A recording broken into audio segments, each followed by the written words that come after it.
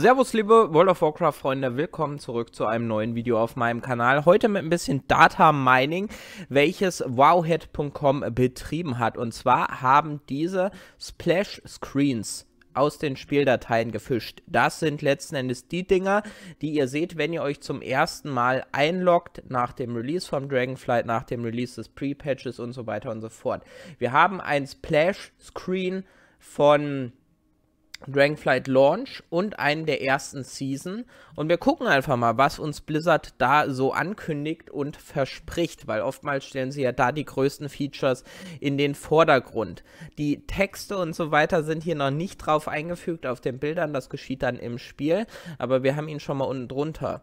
Der Text ist Dragonflight, Professions Update, New Features including Crafting Orders, Equipment, Specializations and more.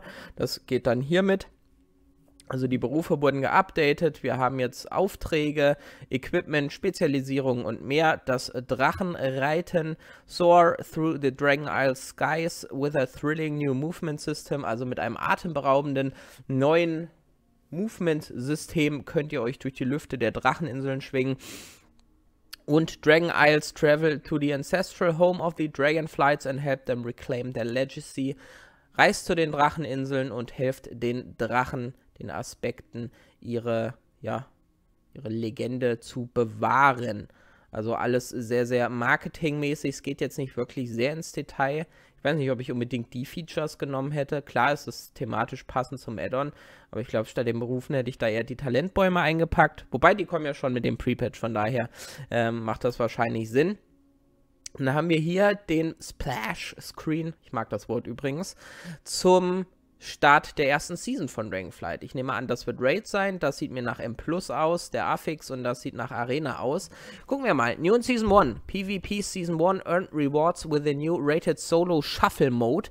Also ein Kriegsbanner hier drin. Heißt, ihr könnt ja dann auch Belohnungen sammeln, wenn ihr euch alleine über die Solo-Shuffle anmeldet. Ich bin mal gespannt, wie das wird. Könnte ganz spaßig werden. Mythic Plus Season 1, a new Dungeon Rotation and the Thundering Affix Await. Ein eine neue Rotation und der Affix Donnernd erwartet uns. Und Vault of the Incarnates stop the Primalists from releasing Razageth's imprisoned kin.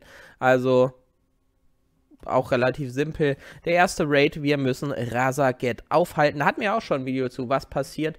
Oder es wird eine Andeutung geben auf eine andere alternative Zukunft, was passiert, wenn Razageth nicht äh, von uns gestoppt wird. Aber wie dem auch sei. Ich finde diese Screens, die haben immer recht schöne Artworks, das muss man sagen.